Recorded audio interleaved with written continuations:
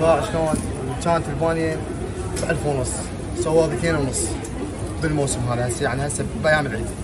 البصل كذلك كان بربع دينار 200 دينار هسه ب 500 4 ونص البوتيته ب 200 دينار بربع دينار صار ب 400 3 ونص الليمون 700 هسه ب 1100 1000 وربع. الأسود كان سعره بالعلو بربع دينار هسه ب 350 ب 400 على العيد. الخيار الخيار 300 هسه بالعلو 700